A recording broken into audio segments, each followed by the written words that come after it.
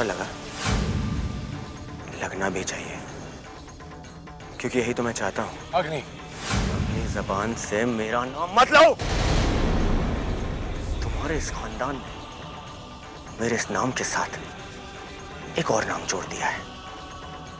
नाजायज। और अब इस नाजायज के लिए बाकी सब कुछ जायज़ है। अच्छा हुआ तुम्हें मेरी असलियत का पता चल गया। अच्छा है। बहुत अच्छा है क्योंकि अब मज़ा आएगा इस खेल का। मेरी खामोशी को मेरी कमज़ोरी मत समझो। शौर्य मेरे प्यारे भैया। तो मुझे धमकी दे रहे हो? मुझे तो डर लग रहा है। अग्नि पता है। मुझे मेरा नाम पता है, मेरे बड़े भैया। तो चलो, होने दो आमना सामना। देखते हैं, हम दोनों में से किसका पलड़ा ज़्यादा भारी होता है। ऑल दी बेस्ट मेरे भाई।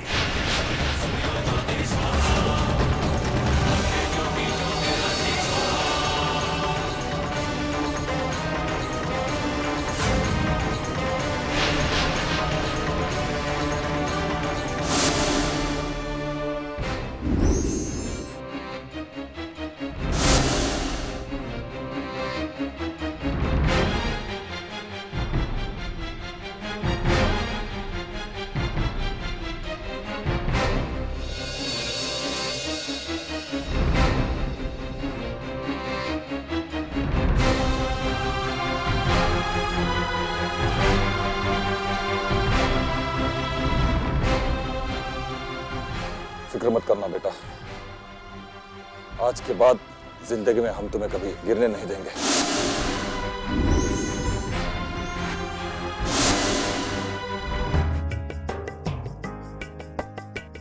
पापा मैं जीत गया। ओहो वेरी गुड शाबाश बेटा शाबाश। अरे अग्नि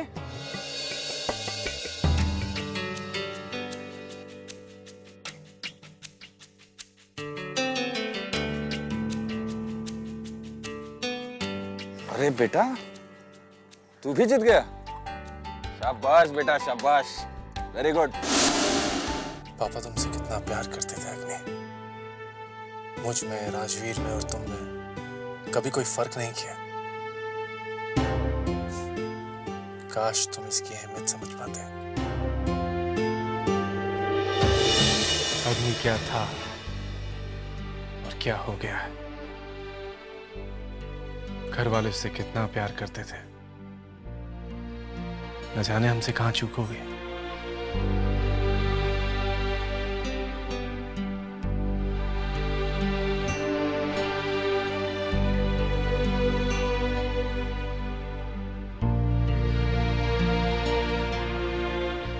इसमें आपकी कोई गलती नहीं है शौर्य ज़िंदगी कभी कभी हमें ऐसे मोड़ पे लाके खड़ा कर देती है। जहाँ हमें सब कुछ अंधकार दिखाई देता है पर चलते रहना ही ज़िंदगी का नाम है।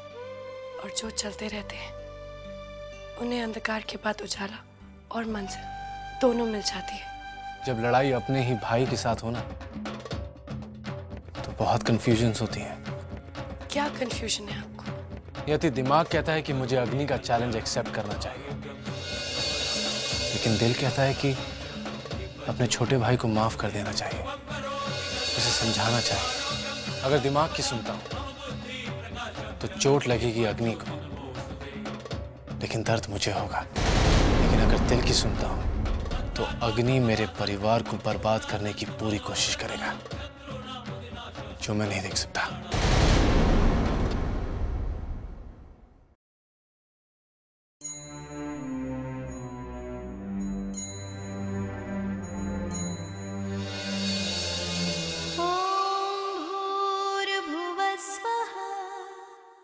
पता है हमारी तातीसा ने हमें देते हुए कहा था कि जब हम ऐसे सवालों से घिर जाएँ, तो ये पवित्र ग्रंथ हमारी मदद करेगा। धियो यो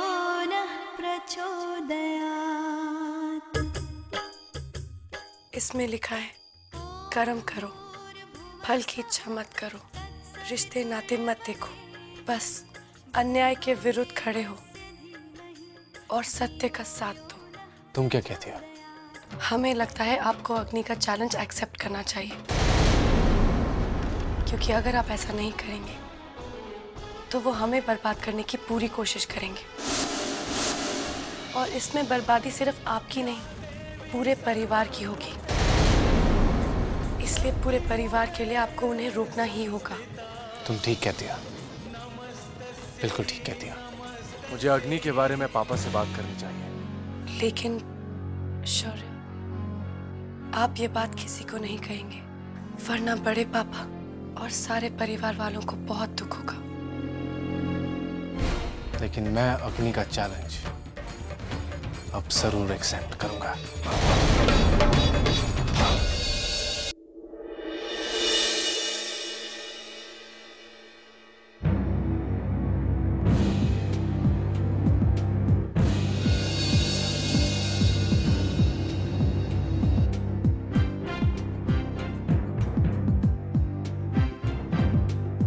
पापा आपने बुलाया?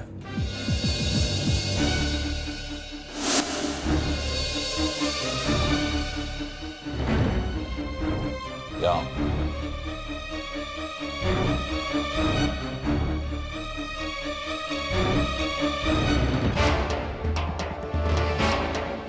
ये पढ़ो।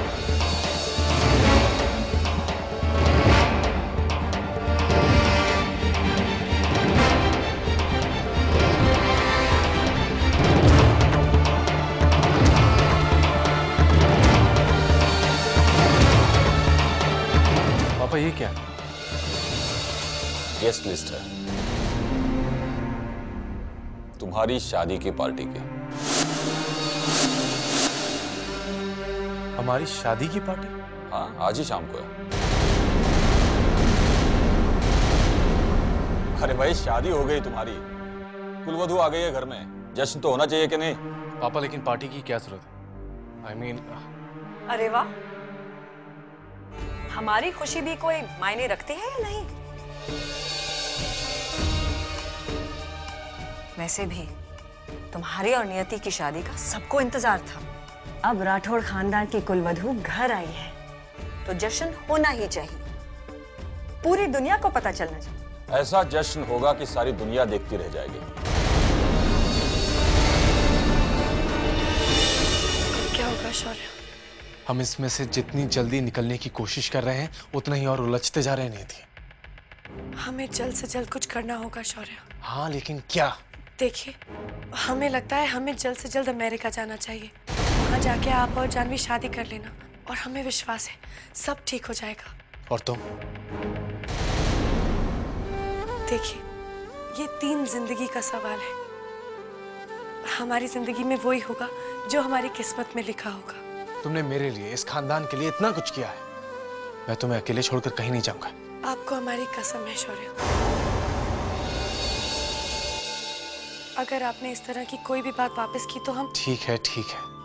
आई एम सॉरी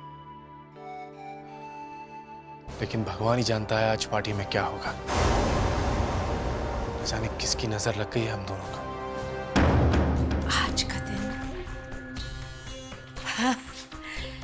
कुलवधु जी की शादी की पार्टी का दिन है।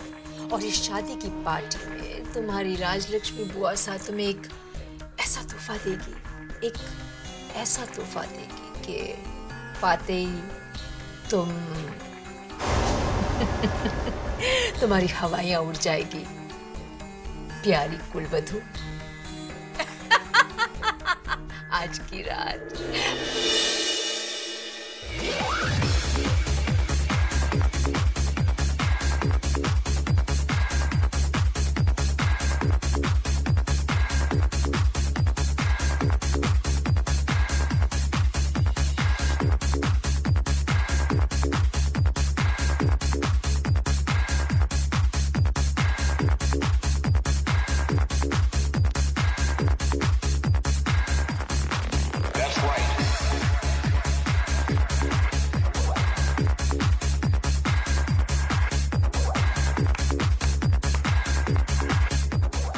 And gentlemen,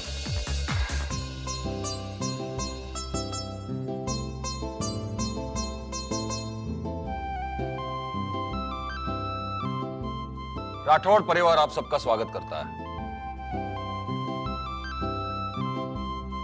आप जानते हैं एक खास परिस्थिति में हमें हमारे बेटे की शादी करनी पड़ी। इसलिए हम आप सबको आमंत्रित नहीं कर पाए। लेकिन हम चाहते हैं कि आज आप हमारी कुलवधु और हमारे बेटे को आशीर्वाद दें।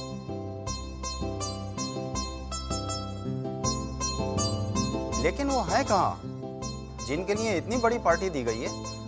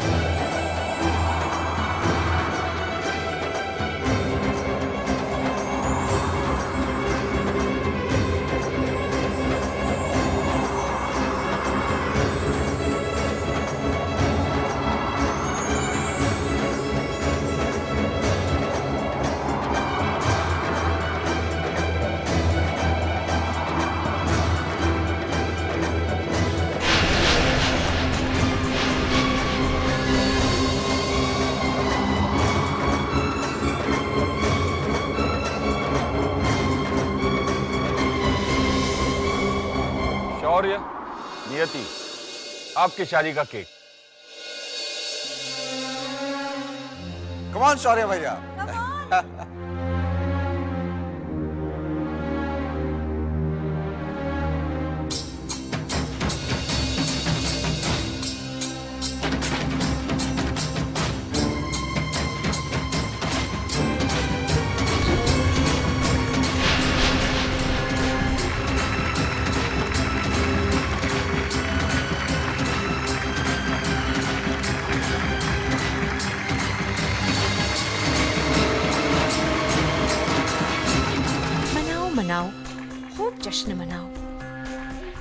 जल्दी ये जश्न मातम में बदलने वाला है।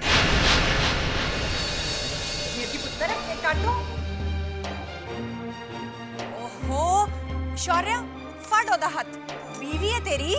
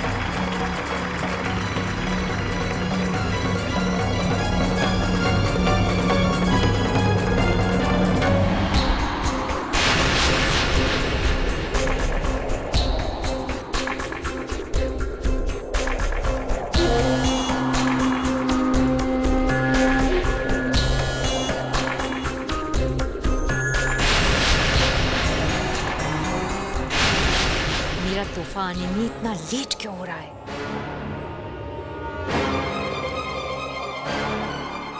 हेलो, कहाँ मैं बोल रही हूँ।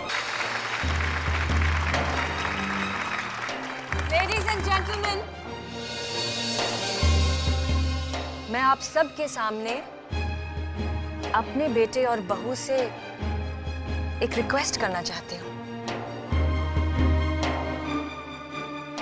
एक्चुअली ये सिर्फ़ मेरी नहीं, बल्कि सभी लोगों की चाहत है। जैसे कि विक्रम जी ने आप सबको अभी अभी बताया, इनकी शादी कुछ अलग परिस्थिति में हुई थी, और हम सब इनकी शादी में शामिल नहीं हो पाए। हर माँ की ज़िंदगी का सबसे बड़ा दिन होता है जब वो अपने बेटे के सिर पर सहरा बंधते हुए देख सकती है। आप सबके सामने मैं शौर्य से रिक्वेस्ट कर रही हूँ कि वो यहाँ हम सब के सामने नियति के साथ साथ फेरे लें।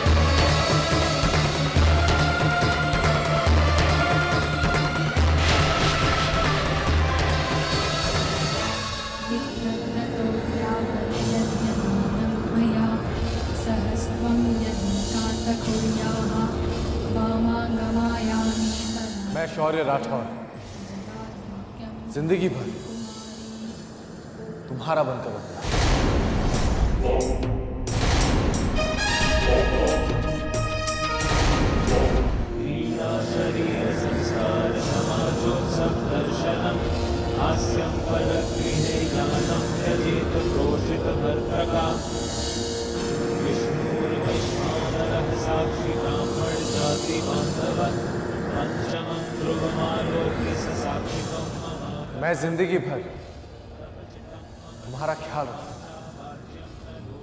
और सिर्फ़ तुम्हें ही प्यार करूँगा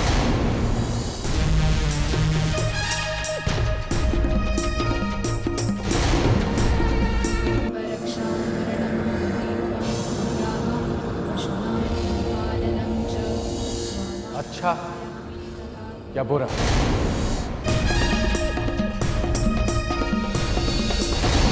स्वस्थ या दोनों हालात। मैं तुम्हारे साथ रहूँगा तुम मेरी अर्धांगिनी। सुख और दुख।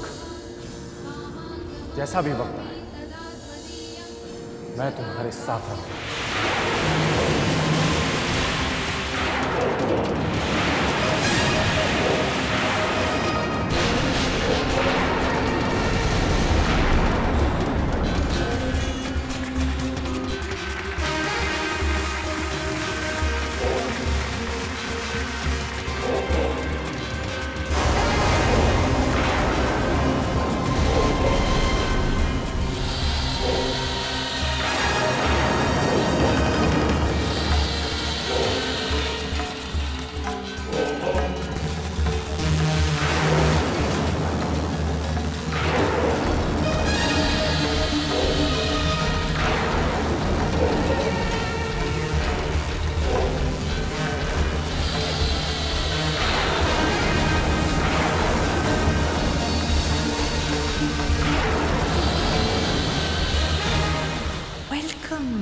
Jahnavi welcome to the Rathore house